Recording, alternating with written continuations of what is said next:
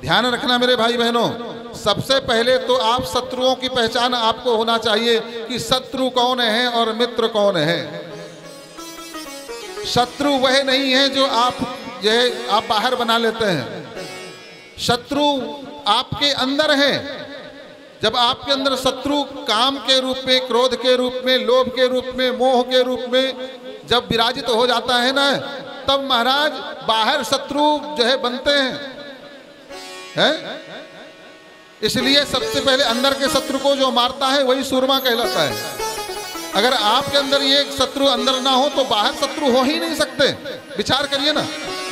हमारी कामनाएँ, हमारी वासनाएँ ही बाहर सब हमारी व्यवस्था को बिगाड़ती है, शत्रु बनाती है कि नहीं बनाती है? और अंदर से ही अगर वो चीज़ ना हो तो फिर क्या होगा? है? नहीं हो सकता ना। तो शत्रुघ्न ने किसको मारा था? लोभ रूपी मंत्रा को मारा था।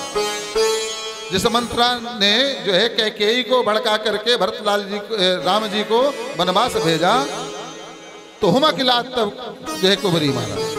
कुबरी को, मंत्रा को हुमक करके लात मारा था, अर्थात शत्रु को सही पहचानने वाले कौन थे? भरत। ये ना होती तो ये सारा समस्या खड़ी नहीं होती। तो हमें सदा चाहिए कि आप चाहते कि हमारे कोई शत्रु ना हो तो आप अपने अंदर को पवित्र बनाइए, अपनी वाणी को पवित्र बनाइए। अपने विचारों को पवित्र बनाइए। अपनी कामनाओं को जरा लगाम दीजिए। तो आपके कहीं कोई शत्रु नहीं होंगे।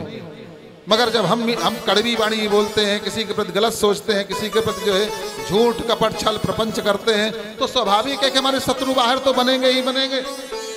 मगर वो शत्रु हमारे अंदर के शत्रु की छाया है बाहर, और कुछ नहीं। बोलिए भक्त वत्सल भगवान की। जय हो।